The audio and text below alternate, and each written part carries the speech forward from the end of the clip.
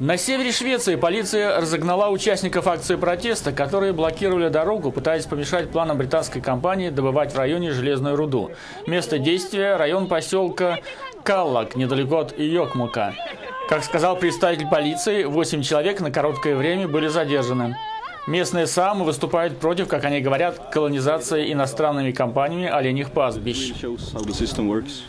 Произошедшее показало, как работает система. Полиция пришла, чтобы защитить компанию и применила силу. Они не уважают наше мнение и обращаются с нами так, как вы сами можете видеть.